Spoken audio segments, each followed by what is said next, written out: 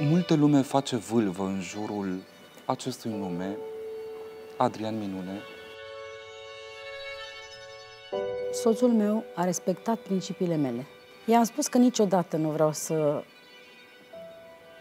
facă nuntă cu altcineva în afară de mine, că niciodată nu vreau ca și copiii noștri să aibă alți frați din alte escapade sau plimbări de ale lui și că vreau să rămân alături de mine, indiferent ce s-ar întâmpla și să nu mă părăsească niciodată. Nici el pe mine, nici eu pe el.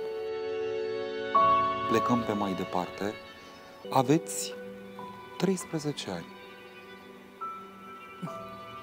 Când apare în viața dumneavoastră cel pe care lumea avea să-l cunoască peste foarte mulți ani, ca Adrian Minune, dar el era un simplu băiat.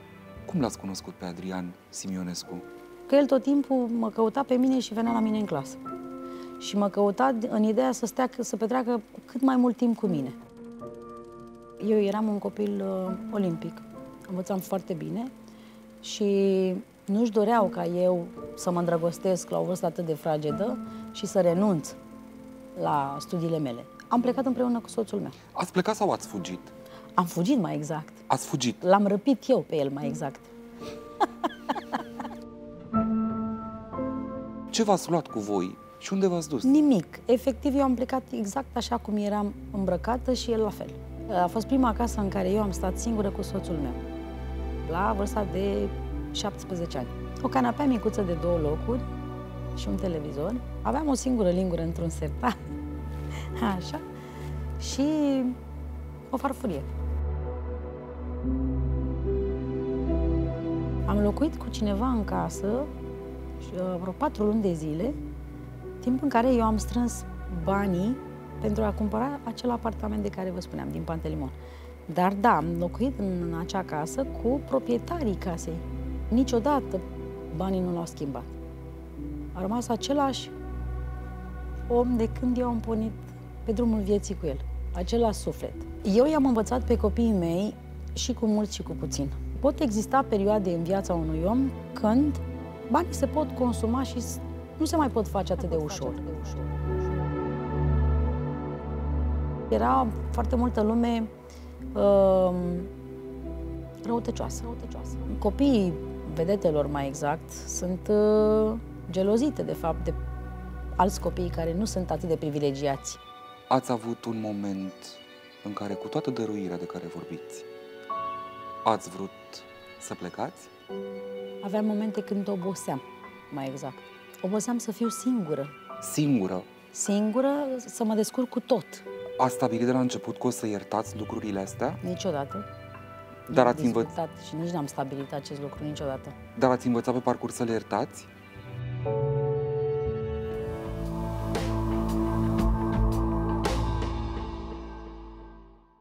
Cea mai mare dovadă de iubire pe care ți-o poate demonstra sau aduce un om este sacrificiul.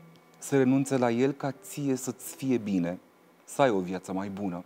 Să renunțe la tot ce a visat el, ca tu să ai un drum mai bun în viață, mai ușor. Următoarea doamnă pe care o avem la în oglindă a învățat multe despre sacrificiu. N-a făcut-o pentru că cineva a pus-o, ci pentru că a vrut ca familia ei să rămână întotdeauna unită, întotdeauna să rămână împreună. O să învățăm azi o lecție despre a nu te dezbina. Orice s-ar întâmpla, să rămâi împreună, să nu părăsești casa, acasă. Asta l-a învățat pe soțul Adrian Minune de atunci de când s-au cunoscut, de la 13 ani. Orice li s-ar întâmpla în viață, să rămânem totuși împreună. Și au trecut 30 de ani de atunci. Bine ați venit! Bine v-am găsit! 30 de ani. Asta v-ați spus atunci. Orice s-ar întâmpla, să rămâneți totuși împreună. Păi este ceea ce își dorește la început de drum fiecare cuplu. Nu toți reușesc, doamnă. Dar toți își doresc. Dar nu este de ajuns doar să-ți dorești. Trebuie să lupți ca să reușești. Ce v-a mânat în lupta asta să vă țineți familia unită? Cred că cel mai puternic motiv, iubirea. Iubirea de copii, iubirea pentru el sau a fost un cumul? A fost un comun. Uh, am spus iubirea pentru că iubirea, definiția iubirii, este să dăruiești, fără să aștepți ceva în schimb. Cred că i-a spus mai bine decât mine. Eu i-am spus sacrificiu. Noastră i-a spus dăruit. Dăruire e, de fapt, nu este sacrificiu. E dăruire, nu? Este dăruire, cu siguranță. Multă lume face vâlvă în jurul acestui nume, Adrian Minune. Este meritul lui, dar cred că în mare parte este și meritul dumneavoastră că l-ați ținut pe linia dreaptă. Este, nu? Păi asta am vrut. Am vrut să îi țin steagul sus. Pentru că este tatăl copilul mei, este prima mea iubire de când eram copil și pentru că mai presus de viața mea este el și copiii mei. Când se pierdea și trebuia să-l aduceți pe calea cea dreaptă, ce ați spus întotdeauna că e important? I-am spus încă de la început ce este important. Uh, eu am uh, niște principii de când m-am născut. Încă de când eram copil, am ținut la aceste principii. Iar uh, soțul meu a respectat principiile mele. I-am cerut trei lucruri atunci când am plecat pe acest drum amândoi. I-am spus că niciodată nu vreau să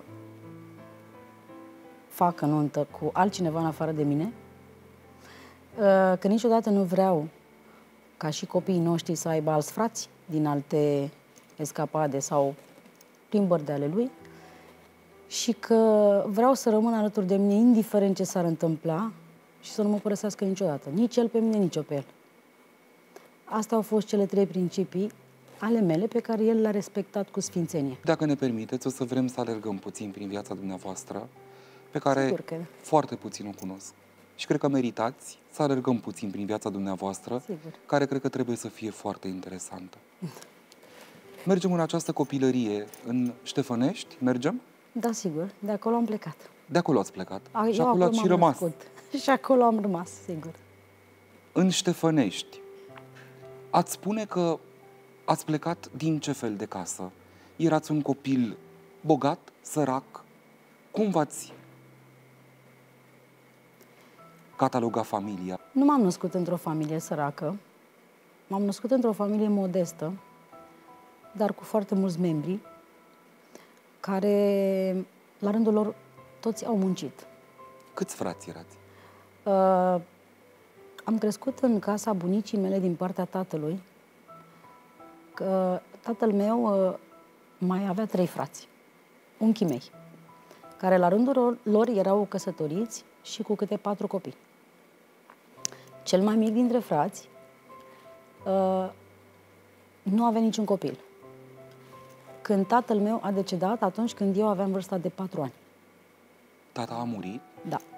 De ce? A murit într-un accident de mașină la vârsta de 27 de ani. Mama mea având pe vremea aceea 23 de ani. Eu mai aveam o soră în vârstă de 2 ani.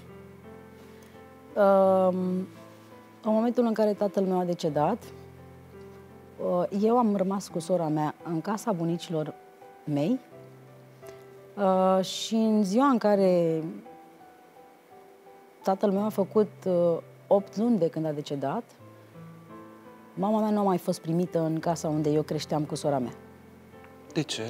Pentru că existând aceste cutume pe vremea aceea în uh, etnia romilor, uh, mama mea ar fi trebuit să aștepte un an de zile după moartea tatălui meu, uh, să nu iasă afară din casă, să nu meargă însoțită de alte uh, prietene în niciun restaurant, în nicio petrecere. Exista așa ceva? Exista așa ceva. Exista, exista chiar în familia de unde eu uh, vin. Și mama a încălcat.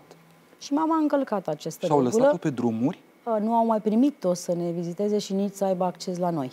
Nici la Deci mine, au nici dat-o la- afară din familie, cum s-a spus. Exact. Și unde v-ați dus? Noi nu ne-am dus nicăieri, noi am rămas la bunica La bunică. noastră din partea tatălui. Asta timp de un an de zile. După care, uh, bunica mea a încercat din răsputeri să o primească pe mama mea la noi. Unchii mei s-au opus. Bunica mea a făcut tot posibilul și le-a construit case celorlalți copii. S-au mutat cu familiile lor acolo. Uh, Iar eu și sora mea am rămas în casa bunicii cu cel mai mic dintre frați. Și mama unde era? Mama uh, a locuit o perioadă la mama ei, la bunica cealaltă, după care, uh, mergând în continuare la muncă, pentru că mama mea lucra, avea serviciu, lucra pe vremea, vremea, vremea aceea, și uh, era foarte apropiată de rudele tatălui meu uh, din partea bunicului meu. Și cu ele a stat uh, foarte mulți ani în casa mătușilor, unde la un moment dat bunica mea, uh, pentru că știa că ține legătura foarte strânsă cu surorile ei mai exact, uh, a făcut tot posibilul să o primească pe mama la noi. Și au primit-o până la... Au primit-o, da. După câți ani? Cât a stat fără mama? Uh, Deci de la patru ani până la opt ani Deci patru și ani mama, jumătate, nouă chiar. mama a fost izgonită doar pentru că nu a ținut doliu după bărbat așa cum prevedea cutuma? Exact, exact. Atât de mare să fie pedeapsa? Uh, nu vreau să intru în detalii astea pentru că nu le cunosc foarte bine și ni- la vremea aceea, aceea cel puțin nu aveam capacitatea să înțeleg așa ceva. Eram foarte um, foarte supărată pe faptul că în momentul în care mi-am pierdut tatăl, la foarte scurt timp V-ați mi-am pierdut pierdut și și mama. mama. Da, ați putut să fiți copil? Am V-ați fost, permis uh, să fiți copil? A fost copil, dar um, am fost copil doar pentru faptul că bunica mea mă prioritiza și pe mine și pe sora mea, în ideea că băiatul ei, tatăl nostru, nu mai este și prin noi ea simțea că fiul ei trăiește. Atât. Atât. În schimb, am dus uh, lipsa mamei mele foarte mulți ani. Am suferit foarte mulți ani că nu a fost lângă mine. Eu am fost un copil foarte conștiincios, mi-a plăcut foarte mult școala. Eu am învățat foarte mult, mi-am regăsit acolo o motivație uh, și am primit foarte multă iubire de la unchii mei care m-au crescut. Ați mai putut renoda relația mamă-fică când s-a întors mama după patru ani? S-a întors schimbată? Dar nu s-a rupt niciodată. Pentru că eu, eu tot timpul o aveam în sufletul meu și atunci, în perioada în care nu o lăsa pe mama să vină la noi, un, unul din unchii mei, eu tot mă duceam la bunica din partea mamei să stau cu ea o zi, o noapte, să dorm cu ea, să mă bucur de ea.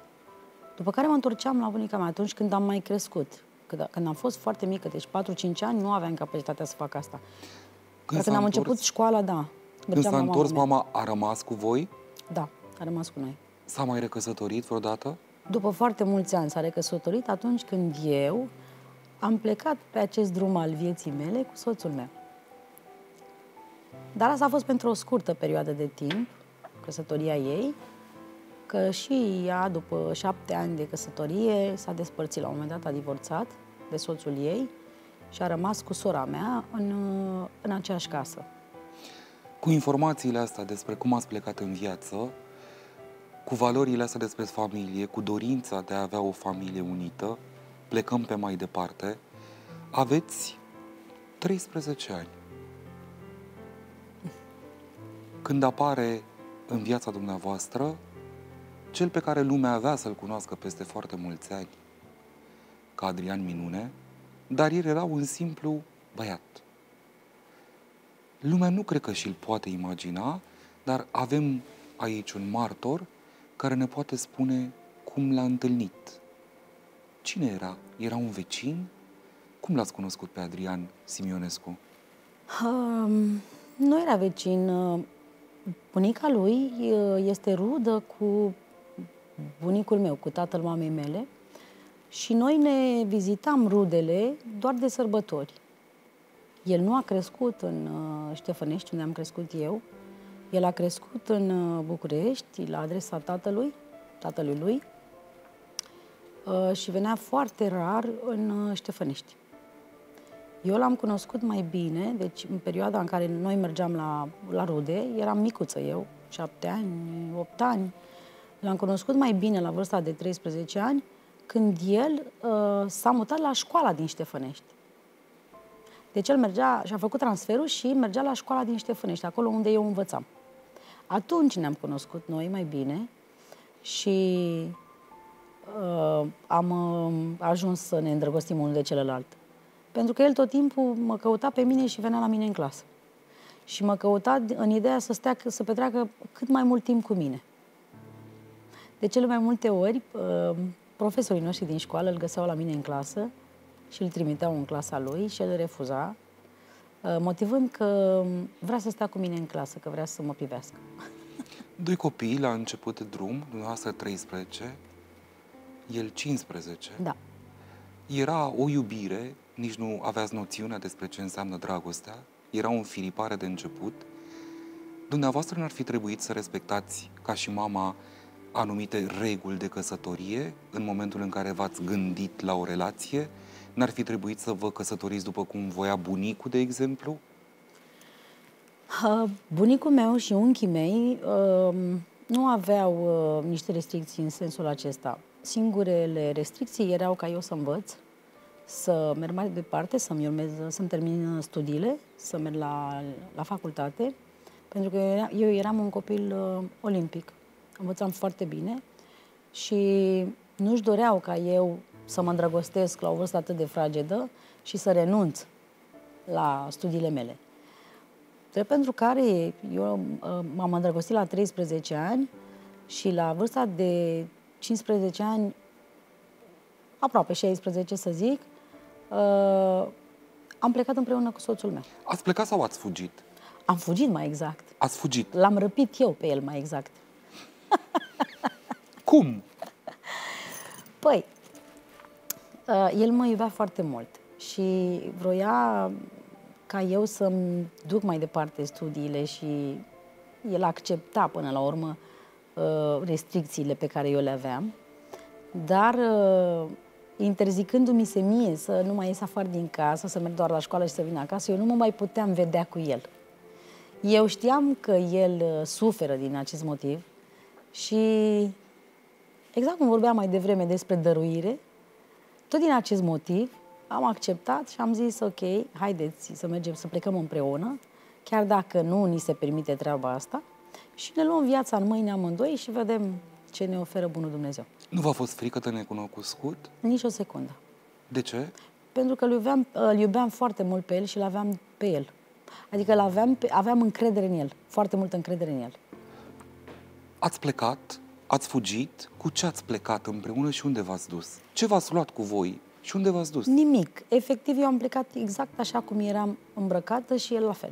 Suntem în ce an? Este vară? Este iarnă? Este vară. Da. Este 15 iulie. Um, anul în care eu împlineam 13, 15 ani, aproape 16, 15 și 8 luni, cam așa. Um, și l-am trezit din somn, m-am dus acasă la bunica lui, l-am trezit din somn și a spus, uite, hai, vrei să plecăm amândoi? Și el a spus, tu vorbești serios că vrei să plecăm amândoi sau zici așa, nu zic, vreau să plecăm amândoi. Ok. Zic, haide să ne întâlnim la ora 4 după amiaza. Eu terminasem școala, era ora 1 la, la prânz. Uh, zic, haide să plecăm la ora 4 amândoi, tu doar să chem pe șoferul tău. El avea un șofer cu care el mergea la puținele evenimente pe care le avea atunci. El atunci cânta la acordeon, nu? Da, avea puține evenimente pentru că era la începutul carierei lui, deci nu cunoștea toată lumea, nu... Abia început să cânte pe la arenele romane, dacă vă aduceți aminte, în perioada aceea, avea, a avut un spectacol pe scena aceea mare, uh, dar nu era încă cunoscut.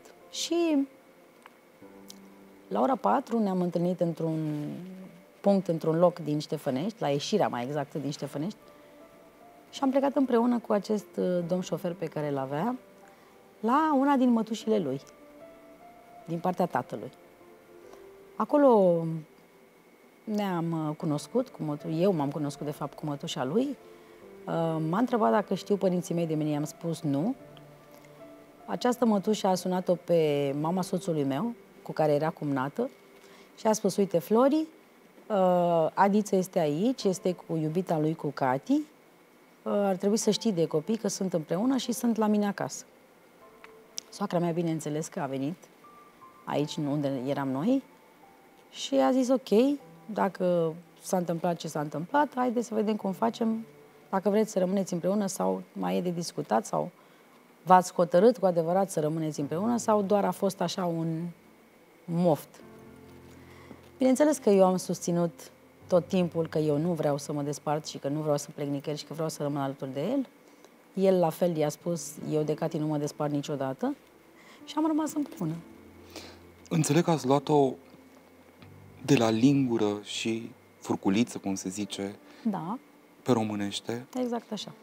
Vă mai aduceți începuturile aminte cum erau? Unde ați început? Într-un apartament? Într-un apartament, confort 4, Unde suntem? În ce zonă? în zona Pantelimon, Deci în Pantelimon. exact, Într-un apartament la etajul 3, 3. da.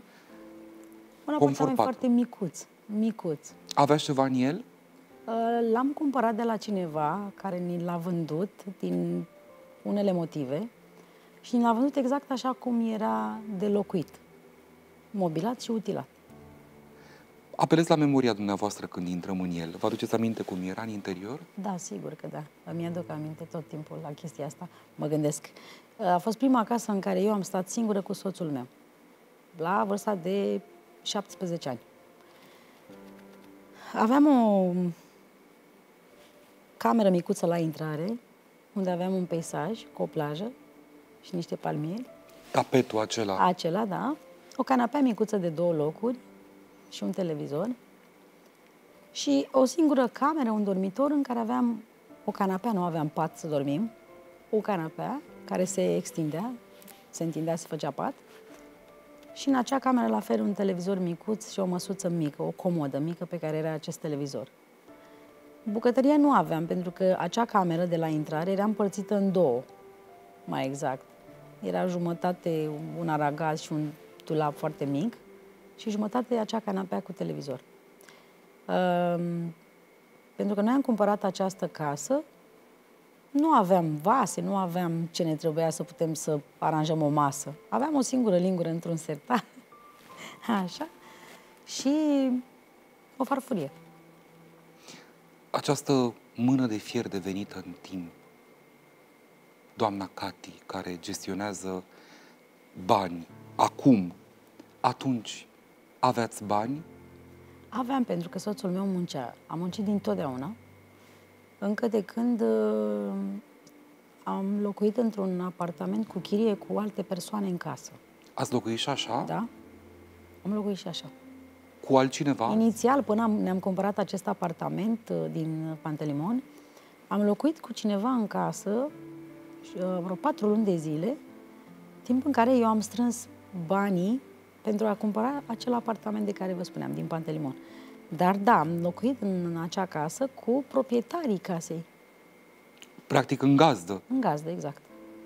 Deci a fost nevoie de foarte mult calcul. Da. Ați pus bani pe bani, Eu am fost de mică o persoană foarte calculată și echilibrată și tot timpul el mă răsfăța pe mine cu cadouri, uh, îmi dădea bani să-mi cumpăr haine, să merg la cofetărie, să-mi cumpăr dulciuri, prăjituri și așa mai departe. Eu tot Și ce timpul făceați cu ei? strângeam bani. îi puneați deoparte. Strângeam bani tot timpul.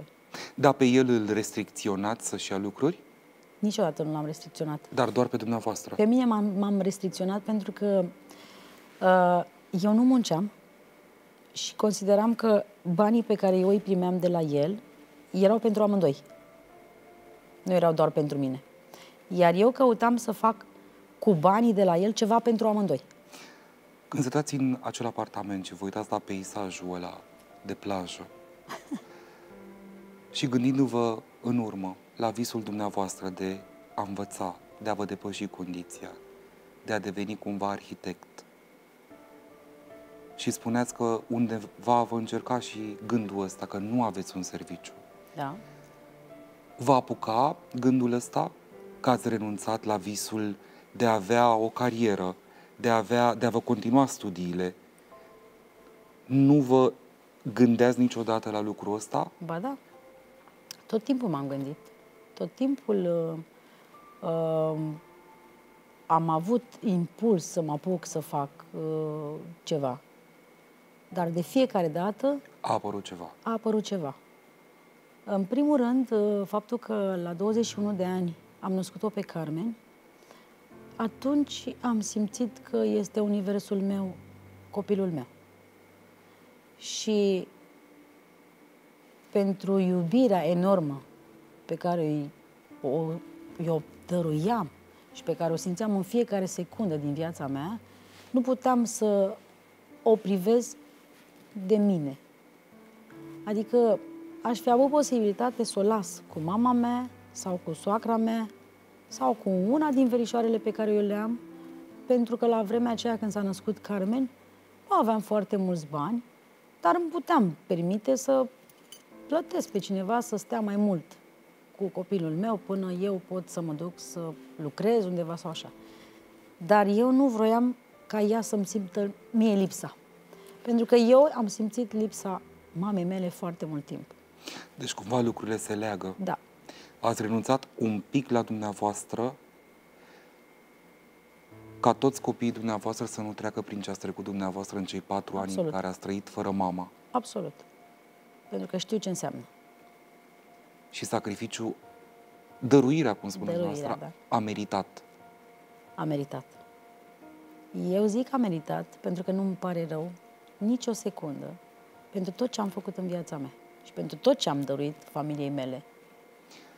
Vă mutați în acest apartament Confort 4, lucrurile încep să se miște pentru Adrian, copilul minune, devenit Adrian da, minune exact. între timp. Banii aveau să devină un element esențial, viața vi se schimbă, aveați să vă schimbați și voi odată cu venirea banilor, acest topic, dacă ați alergat până la 20 de ani după ei, apoi ei aveau să devină un topic în viața voastră.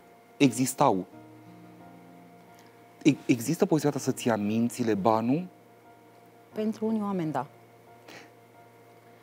Uh, de cele mai multe ori, oamenii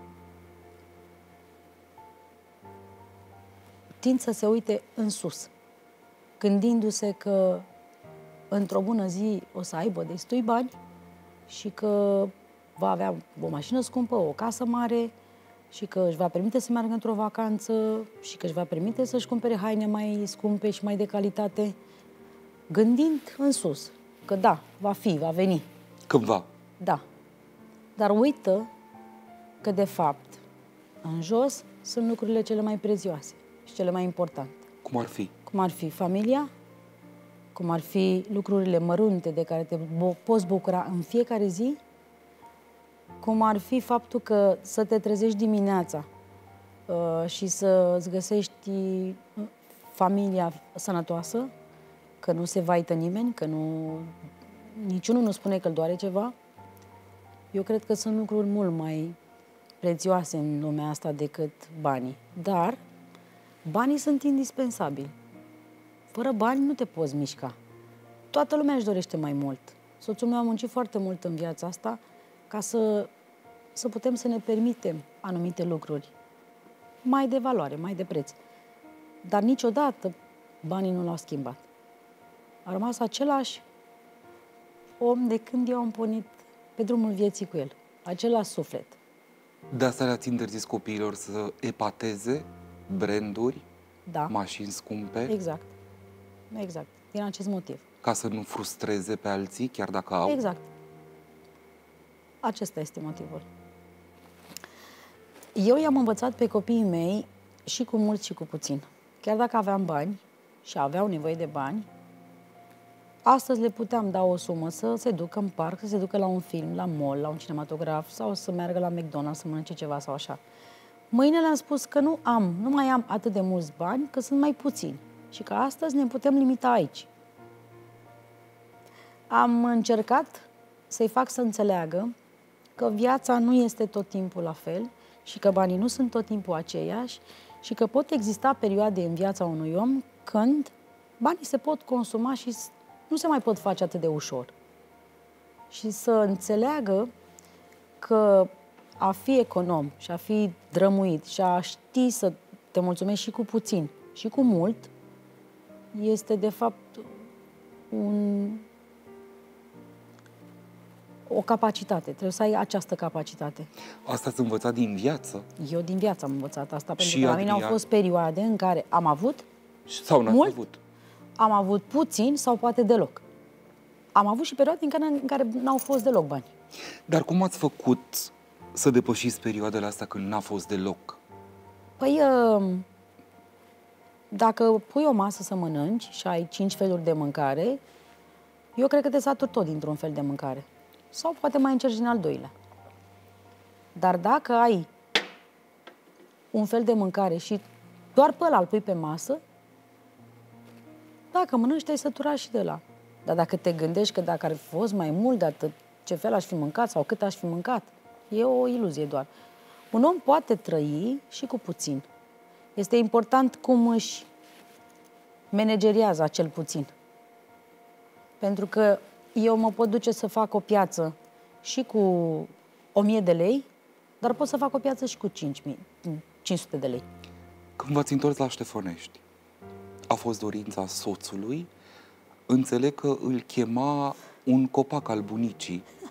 El tot timpul a vrut să stea la Ștefănești, acolo unde a crescut, pentru că acolo erau și bunicii lui. Acest copac este un nuc pe care bunicii lui îl aveau în curte de când el era mic. Uh, și tot timpul m-a rugat să locuim la Ștefănești. Eu nu am vrut să locuiesc la Ștefănești. Și de ce ați făcut-o? Haideți să vă spun, eu nu am locuit la Ștefănești. Nici eu, nici copiii noștri și nici soțul meu. Noi am locuit într-un apartament în uh, Dristor, pe strada Laborator, toată copilăria copiilor noștri. Deci a stat în București? Doar în București. Noi mergeam la Ștefănești doar în weekend sau în vacanțele de vară ale copiilor. În weekend mergeam pentru că acolo sunt rudele mele, mai multe, uh, și copiii noștri se jucau foarte mult afară, în aer liber. Stând într-un apartament, copiii nu aveau atât de mult uh, spațiu și atâta libertate să, să stea, să se plimbe pe afară, să se joace într-un anume loc. Era limitat spațiu pentru ei. Pe vremea aceea existau foarte multe locuri mai periculoase, eu nu prea îi lăsam să iasă pe afară. Uh, tot timpul aveam grijă să nu fie singur, să fie însoțiți de cineva, având în vedere că erau tatăl lor persoană publică și multă lume era curioasă să-i cunoască. În același fel era foarte multă lume uh, răutăcioasă. Răutăcioasă? Răutăcioasă, da. Ce înseamnă răutăcioasă? Adică copiii vedetelor mai exact, sunt uh, gelozite, de fapt, de alți copii care nu sunt atât de privilegiați. Privilegiați în sensul că își permit anumite lucruri și alții nu, și ei nu. Uh, s-au lovit copiii mei de aceste chestii. Și cum ați făcut să le depășiți? Ce auzeau copiii dumneavoastră și vreați să nu audă? Păi, de exemplu, dacă mergeam undeva într-un parc. Și eu îi lăsam să se joace și la parc sunt mai mulți copii. Copii cunoscuți fiind, mulți copii care erau acolo, a venit uh, copilul Adrian Minune, manelistul ăla care cântă, ăștia stăia care au bani mulți, care au mașini, care au... Sunt copii de vedetă, sunt mai răsfățați. Adică ceva de genul acesta. Fiind copil, nu reușești să înțelegi chestiile astea iar eu trebuia de fiecare dată să stau și să explic copilor noștri care este situația. De, de cele mai multe ori copiii mei mă întrebau de ce nu pot să fim, nu, de ce noi nu putem fi copii normali?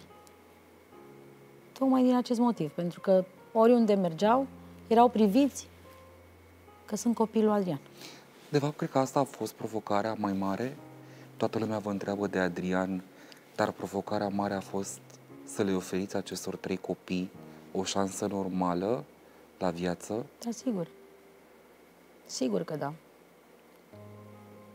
Uh, eu nu mi-am dorit uh, să facă o carieră din muzică niciun copil de-al meu. De ce? Pentru că am văzut cât de mult a muncit soțul meu în viața lui. Pentru că mediul în care el cânta cu ani în urmă nu era unul uh, prielnic pentru copiii mei. Și din acest motiv uh, îi aveam la școli foarte bune, unde învățau, învățau carte, învățau uh, limba engleză intensiv, unde aveau diplome de excelență de limba engleză și toate examenele date la Cambridge și nu îmi doream, sub nicio formă, să ajungă în acest mediu. Gândind că tatăl lor este acolo și din instinct copilul vrea să-și urmeze tatăl, care are deja un nume, mi-era frică să nu ajung în mediul acela. Eu tot timpul i-am tras către a învăța, către școală, dar pentru că Sângele. gena se moștenește și este acolo în sânge, ei toți s-au dus către muzică, dar altfel. Vă întreb altceva. Pentru soț, vorbeați de un mediu violent, Da. complicat pe aloc. Da. Îl știe toată lumea. E ca un balet. Trebuie să știi cui îi cânti, când îi cânti, Exact. de ce îi cânti, la ce evenimente cânti. V-ați temut pentru el? De multe ori.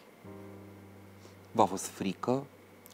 Uh, nu știu dacă frică, dar uh, tot timpul când pleca de acasă, stăteam cu gândul la faptul că îi se poate întâmpla orice, pentru că nu aveai cum să controlezi uh, o situație în care se isca un scandal într-o petrecere cu foarte multe persoane și nu puteai controla. Nu ave- Nu aveai control. Singurul lucru pe care puteai să-l faci era să fugi de acolo, cât mai repede să ieși pe unde poți, să nu mai fii înăuntru. I-ați cerut să se oprească vreodată? De multe ori. De multe ori. Dar asta după mulți ani. Vă aduceți aminte când i-ați cerut prima oară să se oprească din cântat? Da. Când a fost? Da, i-am cerut să se oprească din cântat și i-am cerut in, intensiv treaba asta. Atunci, în perioada în care eu m-am îmbolnăvit, am făcut un accident vascular cerebral și a trebuit să ajung uh, în Turcia să-mi pun un stem pe creier. I-ați cerut asta pentru că ați vrea să fiți pur și simplu, să aveți o viață normală? Eu am avut o viață normală în sensul că eu mi-am crescut copiii ca orice mamă care poate să aibă grijă să fie copilul, copilul ei cât se poate de protejat. Protejat în sensul că uh, să fii în spatele lui atunci când are nevoie de tine, dar, dar mai mult de atât. Mai mult de atât. Uh, i-am cerut mai mult chestia asta pentru că eu mi-am dorit din toată inima mea să pot să-i cresc împreună cu el. Și tot timpul a fost acest motiv pentru care n-am putut să-i cresc așa, că el trebuia de fiecare dată să plece, să muncească, să facă bani. Deci căsătoria dumneavoastră, căsnicia dumneavoastră, e cu dumneavoastră acasă și cu el plecând. Exact. Așa o rezumăm. Da, plecând la muncă. Dar eu, uh, între timp, mă ocupam de casă, de copii, de școli, de toate celelalte lucruri. Adică sarcina mea era aceasta, dar cred că sarcina lui a fost mai grea decât a mea, dacă stau să mă gândesc. Că, de fapt, el muncea cel mai mult. Și ca să Și înțeleg, el risca ați pentru merita bani. măcar 20 de ani, 25, în care să stați împreună, să vă adunați, să nu mai aibă cântări, dumneavoastră nu mai creșteți copii acum, asta să înțeleg, că meritați amândoi. O nouă Da. șansă Da. să o luați de la capăt. Da, iar pentru că el a muncit foarte mulți ani, uh, cred că are nevoie să, să aibă o lejeritate acum, la vârsta asta. El împlinește 50 de ani anul acesta. Noi îl vedem ca artist. Dumneavoastră, îl vedeți ca pe un artist? Vă raportați la el cum? Eu nu l-am văzut niciodată ca pe un artist. Pot să-l privesc și ca pe un artist. Dumneavoastră cum îl vedeți? Eu îl privesc din interior. Îl privesc uh, ca pe soțul meu și ca pe tatăl copiilor mei și văd mai mult decât poate vedea oricine altcineva din afară. Și ce vedeți? Ce văd la el așa ca om, Da. Este mult de spus, dar o să vă spun în câteva cuvinte ce văd. Uh, Este o armonie de suflet, simț, bunătate și respect. Pentru mine. Deci, ceea ce văd eu în el. E romantic? Toată viața a fost romantic și este în continuare. Ne puteți spune un gest pe care l-a făcut pentru noastră? Pot să vă spun mai că el a făcut foarte multe gesturi frumoase pentru mine în toată viața noastră împreună. Uh, mi-a făcut surprize de zilele mele de naștere. Uh, m-a surprins cu flori, cu cadouri, cu prietenii mei invitații cu care am făcut petreceri. Uh, am făcut cele mai frumoase vacanțe din viața noastră împreună. Uh, m-a dus în cele mai frumoase locuri din lumea asta. Deci sunt, aș avea să vă povestesc poate o zi întreagă de surprize și de momente frumoase. Trebuie să fi fost și greu. A fost. Au fost atâția greu. ani. Trebuie să fi fost și fumpene. Ați avut un moment în care, cu toată dăruirea de care vorbiți, ați vrut să plecați? Da, dar doar ca să îl determin să facă anumite lucruri. Niciodată nu am avut cu adevărat în mine dorința de a renunța la el. Niciodată în viața mea. S-a întâmplat când erați mai tânără? Da, bineînțeles. S-a întâmplat când eram mai tânără și s-a întâmplat pentru că aveam momente când oboseam, mai exact. Oboseați să fii soție sau... Oboseam să fiu singură. Singură? Singură, să mă descurc cu tot. La un moment dat oboseam. Dar găseam de fiecare dată puterea să merg mai departe. Dar nu ați plecat niciodată? Nu, de am plecat o singură dată la mama mea, dar asta a fost câteva ore. După care m-am întors acasă. S-a tot vorbit despre, îmi vorbeați la început de câteva principii, alea trei. Mi-a rămas în minte ceva. Ați spus să se întoarcă mereu acasă. Da. De călcat strâmb, știți că a călcat. Bineînțeles. A stabilit de la început că o să iertați lucrurile astea? Niciodată. Dar ați învățat... Și nici n-am stabilit acest lucru niciodată. Dar ați învățat pe parcurs să le iertați? Am învățat pe parcurs că atunci când iubești, ierți. Nu ai cum să ierți dacă nu iubești. Cine nu iartă, nu, nu înțelege ce înseamnă iubirea. Eu cred că iubirea și iertarea sunt foarte strâns legate. Pentru că iertarea vine doar de la iubire. O persoană care nu poate să ierte este aceea care definiția iubirii pentru ea este alta. Pentru mine, definiția iubirii, asta este. Atunci când ajungi la un anumit uh, nivel de succes, uh, sunt tentații foarte mari. Există persoane care pot fi luate de val, așa, pot fi duse departe și pot uita chiar și de unde au plecat, chiar și cum au ajuns la acel succes, chiar și de familia lor, chiar și de copiilor, adică pot uita multe lucruri. Eu vă întreb altceva. Credeți că dacă dumneavoastră nu erați acasă, acest om care să stea mereu drept și care să-l îndrepte, s-ar fi pierdut? Da. Dacă nu eram acasă și dacă nu eram uh, persoana care am fost în viața asta și l-am iertat pentru tot ce a făcut și l-am uh, tot timpul l-am așteptat acasă, da, se pierdea. El a avut în mine un stâlp de susținere, o foarte mare bază. Poate că de asta ați și rămas? Că el are mai multe nevoie de dumneavoastră decât dumneavoastră de el? Da, el are mai multă nevoie de mine decât eu de el, dar să vă spun de ce. Eu nu am atașament. Eu sunt o persoană foarte puternică care se poate descurca în, în familie cu tot ce este nevoie. Dar el, fără mine, în familie, nu se poate descurca. El este tot timpul dependent de mine. Până la faptul că dacă are de luat un tratament, eu știu să-i dau pastilele, el nu știe să și le ia și nu și le ia, decât dacă îi le dau eu. Cum arată o zi din viața noastră? Ce faceți împreună? Acum că ați rămas amândoi, cu ce vă ocupați pentru el? Presupun că vă treziți prima. Nu. El se trezește primul. el se trezește primul. El este cel care dă tonul zilei. Pentru că el uh, foarte mulți ani nu a dormit noaptea și a dormit mai mult, mai mult ziua, acum de când este mai liber, uh, mai apucă să doarmă noaptea. Se trezește foarte devreme. Se trezește dimineața, la 7, la 8 dimineața. Pentru el este... Aceste lucruri sunt lucruri noi, pe care orice om normal le face. Pe care nu le-a făcut 30 de ani. Iar pe care el nu le-a făcut 30 de ani. În momentul în care se trește dimineața, el este cel mai fericit om, pentru că știe că are toată ziua la dispoziție, se poate bucura de ea și poate face foarte multe lucruri.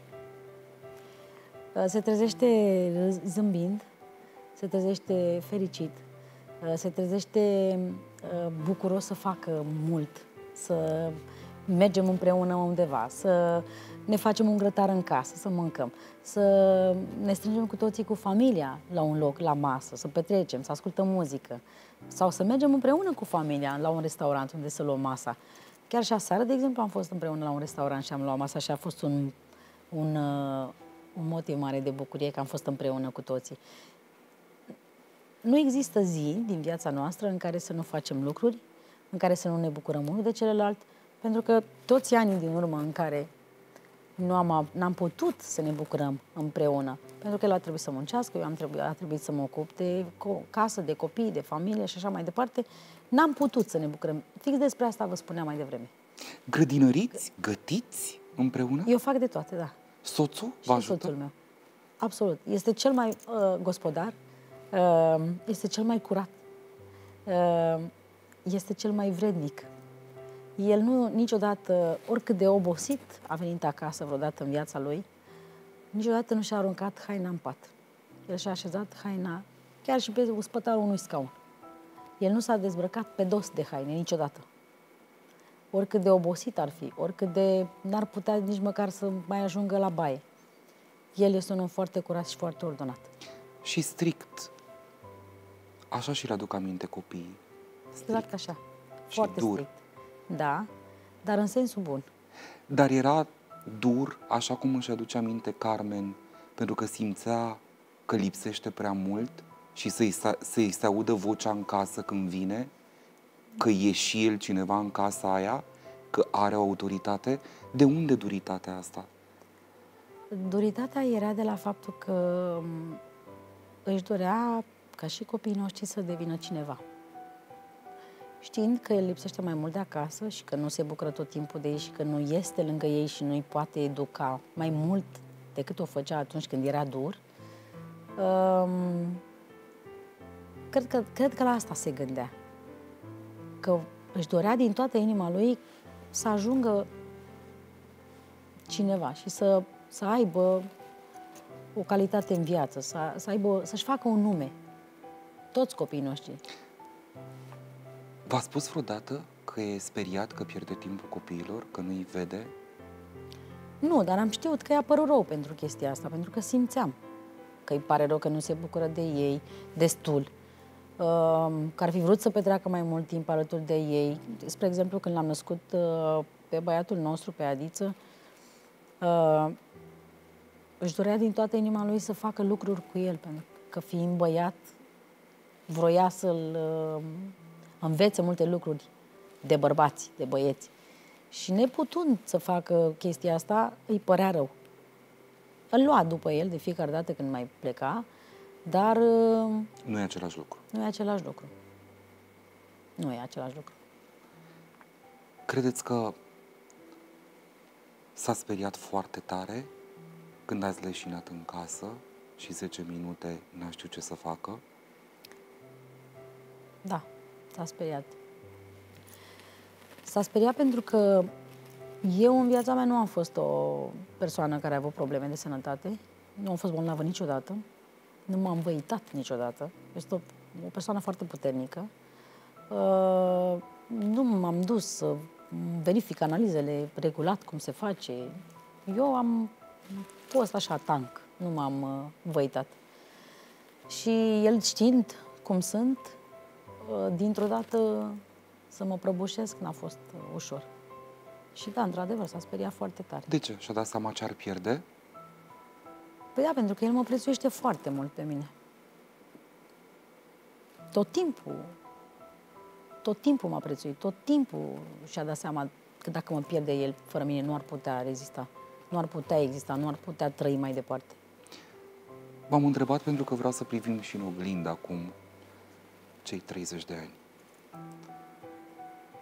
Sunteți mai îndrăgostit acum cu dragostea asta matură decât atunci la 13 ani? Sau vă simțiți mai iubită acum, după 30 de ani, decât la 13 ani? A fost un drum lung. Dar e mai bine acum? Uh, toată viața am fost iubită de, de soțul meu. Chiar și atunci când nu era acasă, știam că în sufletul lui, în fiecare secundă din viața lui, sunt eu. Dar acum când muzica va da soțul înapoi, e mai bine? Da, este. Dar eu nu... Nu am dus lipsă de iubirea lui niciodată. Nici o secundă din viața mea nu am dus lipsă de iubirea lui. Este mai bine, într-adevăr, că este mai des acasă, că suntem împreună mai mult timp, ne bucurăm mai mult unul de celălalt. Melodia asta, mamă, pe care v-a dedicat-o, v-au dedicat-o copiii dumneavoastră, a impresionat și cumva acum înțeleg mesajul. Da. Era un mulțumesc pentru dăruire. Exact.